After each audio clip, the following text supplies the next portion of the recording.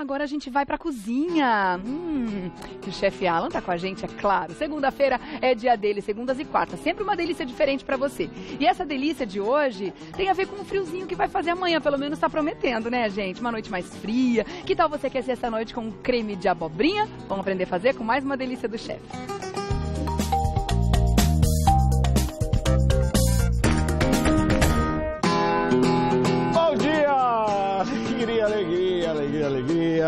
Isso aí. É o, é o que tem que ter alegria, alegria, né? Muito bem, estamos aí. Mais um delicioso programa, receita simples. Receita, digamos que para um diazinho mais frio, mas também sopa é gostoso qualquer dia, tá? Não estar muito frio, não. Tá aí o advento da feijoada, né? Pode estar um calor de rachar, samba, cachaça em cima e nego come feijoada, né? Feijoada é um prato frio.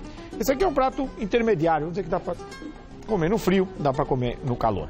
O que que eu fiz, ó? Eu peguei caldo de frango, ok? E peguei abobrinha e cortei a abobrinha. Como é um trabalho que não adianta eu fazer aqui no ar, porque vai cozinhar por aproximadamente 25 minutos, eu não tenho isso no programa. Então o que, que eu fiz? Ó, peguei a abobrinha, peguei caldo de frango e cozinhei rodelinhas de abobrinha ó, com caldo de frango e folhinhas de hortelã, tá? Quatro, cinco folhinhas de hortelã suficiente, elas vão dar o sabor que eu desejo. Não é para fazer tipo chiclete de hortelã, tá? É para dar um leve sabor de hortelã, tá? Então a abobrinha cozinhou. 20 minutinhos, ela cozinha e fica macia, tá? Aqui desse outro lado, eu vou pegar um pouco de cebola e vou cortar quadradinhos dessa cebola. Ok?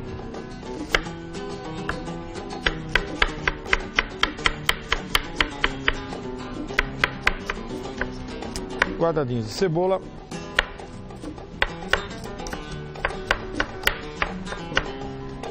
E esses quadradinhos de cebola eu vou juntar com um toquinho de manteiga, ó. A panela já está quente, essa manteiga vai derreter e eu vou simplesmente fazer com que essa bola dê uma murchadinha, tá? Então tá lá, abobrinha cozida simplesmente com um pouquinho de hortelã. Ao mesmo tempo, eu tô aqui dando uma leve murchadinha nessa cebola. O que, que eu vou fazer com aquela abobrinha com hortelã? Eu vou pegar o liquidificador e vamos fazer dois tempos. Um tempo eu puxo a abobrinha e depois eu vou adicionar um pouquinho do caldo, tá? Então vou puxar a abobrinha.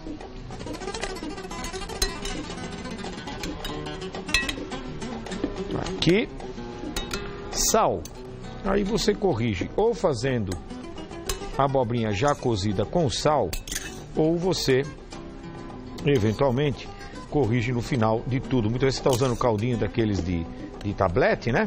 O que, que acontece? Ele vai salgar já, porque o caldinho tem bastante sal. Então você toma cuidadinho aí. Vou pegar um pouco do caldo para virar, para poder bater, né? A nossa abobrinha. Então o caldinho tem sabor de hortelã, né? Sabor de frango, evidentemente. E leve sabor de abobrinha, porque a abobrinha não é um elemento de muito sabor, né? Então tá aí.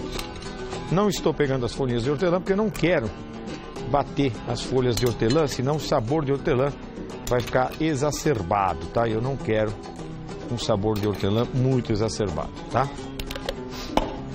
Eu vou ligar aqui e vou bater essa minha abobrinha com o caldo. Lembra, tirei as folhinhas de hortelã.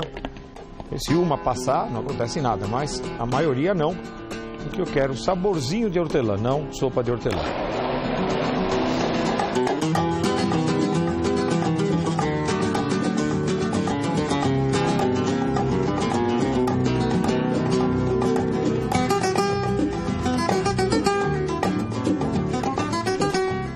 Bem. Vou voltar para o fogo aqui e vou fazer o seguinte jeito, ó. Vou puxar essas folhinhas de hortelã, eu vou puxar fora, tá? Então elas deixaram o sabor, mas eu vou retirar as folhinhas de hortelã. Desse outro ladinho, ó, a cebola vai murchar, porque eu vou sentir os pedacinhos da cebola na hora que eu comer o meu creme, tá? mas a cebola sem força, né? Sem estar aquele negócio de que dá aquela adstringência, né? E que você até chora. Eu vou tirar a força dela aqui nesse momento que eu faço ela murchar, tá? Ligado o fogo aqui, eu vou juntar o meu creme, digamos, a minha abobrinha batida, ao restante do caldo, tá? Com isso, e vou colocar fogo forte para ela ferver. O tempo que isso acontece, que não tem segredo nenhum, você dá uma lidinha na receita, como você poderia fazê-lo aí no nosso site, mas você que já dá uma lidinha para recapitular o que eu fiz aqui. Vamos lá. Então tá aí a receita, você vai lendo aí, eu vou dando uma geral aqui no meu na minha cozinha, enquanto você lê a receita. Então tá aí, creme de abobrinha. Eu vou trabalhar com abobrinha, evidentemente, né? Vou dar um toque de cebola, né? Que vai entrar depois. Vou dar um toquinho de creme de leite. O hortelã, lembra que a gente falou? Cozinhou junto com a abobrinha, então meu caldo tem o saborzinho do hortelã, ok? Bacon, para finalizar, sal e manteiga que eu usei para murchar a cebola, né? Ok? Então tá aí. Meu caldo está aqui. Aqui a cebola. A essa cebola, vou adicionar um toquinho de creme de leite, ó.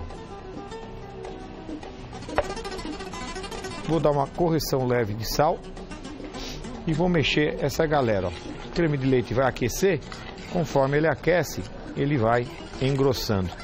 Do outro lado, eu tenho já o meu purê, digamos por enquanto, né? Porque eu não pus o creme aqui ainda. Mas ó, a minha abobrinha começou. Só assim já estaria uma verdadeira perdição. Vou colocar um pouquinho de sal e vou finalizar ela junto com o meu creme aqui, ó. Ela vai ferver, o creme também vai ferver e nós vamos unir um ao outro, né? Vou pegar um pratinho aqui bonitinho, ó, esse pratinho é bem bonitinho.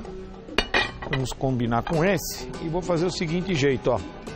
Vou pôr aqui, vou colocar um pouquinho de bacon, ó. Esse bacon tá já fritinho. Sabe aquele bacon que você dá aquela cortadinha e frita o bacon, né? Olha aí, bacon já fritinho. Então um pouquinho de bacon. Tá vendo? Até que ele tá crocante, tá? Vou juntar o meu creme com o creme de leite. Olha que delícia. Só assim já está uma verdadeira perdição, tá? Mas nós vamos ainda melhorar, ó. Nós vamos juntar ele aqui e adicionar a proteína do leite, tá certo? Do creme de leite. Lógico, também a gordura, né? Ah, eu quero mais magrinha, não gosto de creme de leite. Então você já pode partir direto para o abraço com esse creminho aqui, que já está uma verdadeira delícia. E com aquele saborzinho no fundo de hortelã, né? Que a pessoa quando comer assim vai vir, né? Vai falar, nossa, mas que, que sabor é esse, né? Bom, daqui um pouquinho mais de fogo. Vamos aquecer, diminuir aqui. E nesse tempo aí, nós vamos chamar a professora Terezinha. Professora! Então tá aí, ó. Professora hoje tá aí com uma receita. Uma receita, uma placa aí de algum desses lugares maravilhosos do nosso mundo brasileiro, né? E coisas bem típicas, bem gostosas que você pode aí nessa barraca eventualmente. Olha, cardo de cana, pastel de todos os sabores. Então, é lógico que você leu e entendeu, né? Mas o legal seria. Você já imaginou o, pessoal gringo chegando aí que não sabe ler, pega e põe no Google cardo e não sai nada, né? Cardo de cana, pastel. Entendeu? O cara provavelmente não vai entrar, né? Nessa loja em virtude que ele não sabe o que está escrito, né? Então é isso aí, galera. Dado o recado, professora, obrigado. E vamos aí acertar, né? O nosso português, caldo de cana, né? Olha que gostoso, ó. Hum. Eu vou vir aqui, que é nem propaganda. Que câmera que está aqui fechada no prato aqui? Quem está fechado aqui? Você? Então nós vamos fazer desse lado para esse lado, ó. Hum, olha, que creminho gostoso, hein? Se tiver um pouquinho mais de frio, então hoje, ó, hum, Olha, tem coisa que é legal, tem coisa que é super legal. Essa, ó, é super legal. Fumacinha saindo, o bacon, você comer assim, é daquele aquele gostinho do defumado, né? E aí a abobrinha com creme de leite e o toquinho do hortelã. É isso aí. Galera, por hoje é o que se apresenta. Seguramente nós temos mais programa, né? Muito mais programa aí, muitas coisas dentro do nosso revista. Você não sai daí não, tá bom? Só quando acabar, mesmo quando acabar você não sai. Você pode sair, mas deixa sintonizado aí na nossa TV Gazeta. Eu tô indo. Tchau.